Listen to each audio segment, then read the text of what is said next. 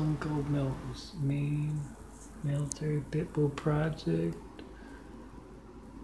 A fire and brimstone parable, you don't have to worry about till you flatline, see that bright line. Fiction, you know where the fiction ends. You pick up that phone, you see dangerous folks I'm talking about here, hijacking your lifelines to try to call me. And this is about dangerous folks within LA Fire Department, among other official positions, have been making pornos with the Mormons and Muslims around uh, yours truly since back in the 70s. So uh, they're watching some witnesses and they say, this, this doesn't look like a porno. It's not supposed to. It's the most painful stuff you can imagine. One man doing to another and being permanent because we're going to build Jesus' Immaculate House and we can't have you, have, have you doing that. You're going to be an example that would dissuade any from following in your footsteps.